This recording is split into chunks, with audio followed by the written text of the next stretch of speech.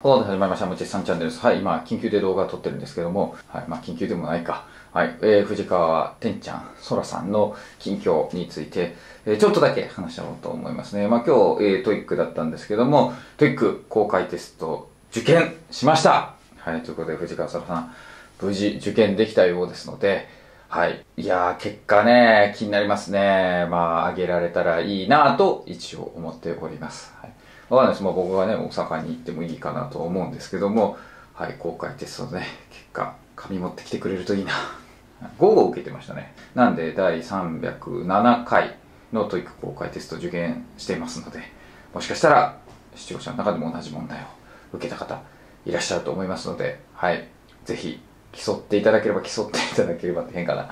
と思いますね。えー、あとは編入に関してですね、はい、関西外大短期大学部から関西外語の、えー、っと3年生時で関西外語大学の方に編入っていうので、一応問題見せてもらいました。過去問ですね。はい。過去問いきなり送られてきたので、ああ、なるほど、みたいな。やっぱ英語教育関係の内容でしたね。GTEC とか載ってたね。GTEC、TOEFL、TOIC の話が書いてありましたけど、はい、そういう長文とか、あとリスニングがありましたね。ちょっとリスニングの音声わかんないんで、えー、どんなレベルなのかちょっとわかんないんですが、ああ、リスニングも出てくんだなっていうのを分かりました。まあ結構、うん、難しい感じでしたね。ちょっと大学入試とはちょっと違った感じの問題でしたね。まあどこかで話す機会があったら、それも話そうかなとも思います。まあ文章とか載せられないと思うので、動画には。はい。そんな感じでした。で、えー、たった今ね、返事来たというか終わったっていうね、はい、いうのがね、はい、来てて、えー、感想としては、面白かったって言ってます。面白かったんかいっていうね。